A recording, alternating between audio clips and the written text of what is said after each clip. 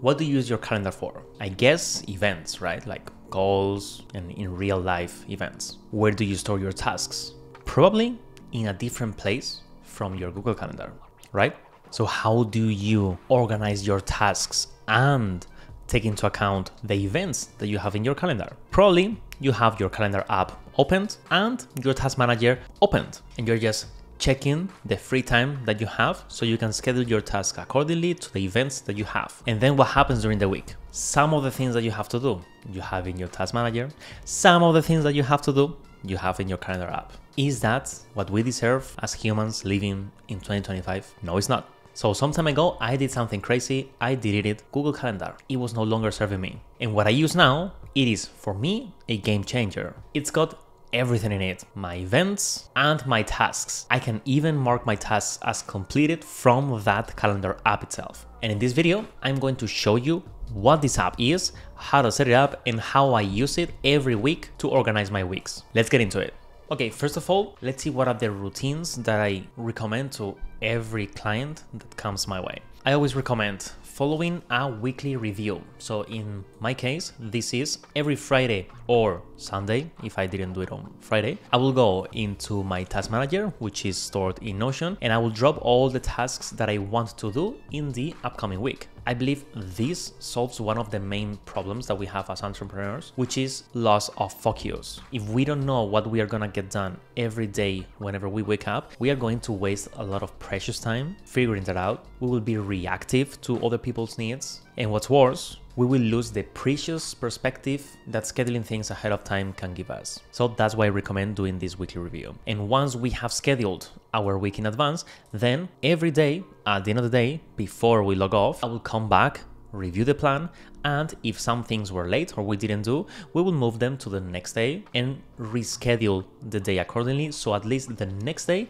is always crystal clear what we are going to do. So these are the routines. Now, how are we going to do them? Well, for this, I use a couple of tools. One, Notion. Notion is gonna be the base for all my tasks. And the second one is Notion calendar because it can synchronize with my task manager so then I can have this unified view that I was talking to you about. Let's see how I set them up. So first of all, we need to have a tasks database with a status property. As you can see, this is a status property. This is the only thing that we need. Then we need a view within the core database instead of Notion that it's in calendar format. Once we do this and we have Notion calendar installed in our computer and we are doing this inside of the Notion desktop app, not on the web browser, we will have this button over here that says open in calendar or if you've never linked Notion with Notion calendar, there will be another button, I don't remember what it said, but like link to calendar or something like that. And when we click on this button, our calendar will appear and the new view will appear over here. Nothing really appeared because I already had it. But now this view in Notion will be synced with this view over here. So here we can already see the magic happening. I have all my events, the calls that I have, my gym, my eating, my running, my biking, and my tasks here in purple. But now let's see how I use it. So every week I have this created. I'm creating this page in Make.com with a recurring automation and I have my weekly review process. I review my last week's tasks so I can actually feel what I did because a lot of times my girlfriend asks me, What did you do today? And I do not know. I need Notion to remind that to me. And I have it in this view over here Monday, Tuesday, Wednesday, Thursday, Friday, and everything that I did. Next, reviewing the week. I'm, I'm, not gonna get into this. It's just plus minus what did I do well, what did I do wrong, and the next actions that I that I want to take, and some other things. And here is the useful and important part: planning the week.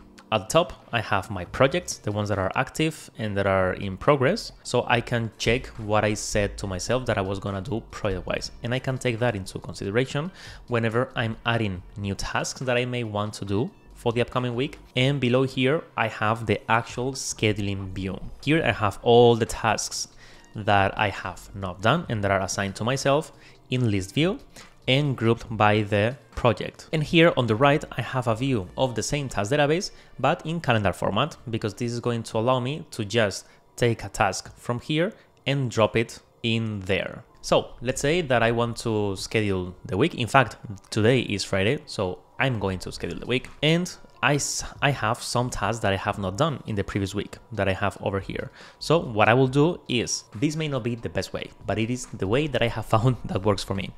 I will just take them all and bring them to Monday if I still want to do them. If I read some some of these tasks and I believe that it doesn't make sense to do them anymore, I will just clear date, which is a button that I have created for this purpose. Okay, let's say that I want to do everything on the next week. So I will just move everything to Monday. Why am I doing this? Because this is a little bit of a mess, right? Well, if I go now to Google Calendar and I go to Monday, all the tasks will appear here. And what I will do is I will put them out of the way so then I can schedule them one by one wherever they belong. But now I'm doing it inside of my Notion calendar, which includes all the different events that I already have. Plus, I have also built something which is my ideal week calendar, which I use to separate the work that I do every morning so it goes to a different bucket of the company. CEO and vision work, content creation, growth projects, marketing, and more content creation. So like this, all the recording tasks can go into content creation, for example, take thumbnail, build UTM infrastructure. This is a growth project and like this. If I schedule my week and I still have more time to do more things, I can come here and take whatever of these tasks and put it inside of Monday or Tuesday, whatever, and then it will appear in Notion calendar and I can find the proper time when I'm going to do it. And at the end of this process, I already have my week fully scheduled, taking into account all the events that I have. And what I do daily is just come to Google Calendar, see what I have for, to, for, for today, and do it. Because now, inside of Google Calendar, we have this status property. So if this is the main thing that I need to do on Monday, whenever I will start doing it, I will just mark it as in progress I will start doing it. Whenever I finish, I will just mark it as done. And this will disappear from this view because inside of the calendar that we are using to mirror inside of our Notion calendar, I have it filtered by status is not complete. So whenever I complete something, it will disappear from this view and therefore it is also going to disappear from this one. And well, this is how I schedule my week. Now I'm gonna go on and schedule the actual week. I'm gonna follow the process because this is the day that I do it. And I hope that you found it useful because this is really solving the problem of having everything in one place. Because I tried to do the opposite, which is to bring all the data from the calendar into Notion. But I don't know about you, but I don't like this view at all. It is not clear to me. It is not time bound. I, I don't know. I will have to read this to, to know at what time I have to do. This is so much more visual. So yeah, this approach wins for me by a mile. And well, that is it for this video guys, and as always, hasta la próxima.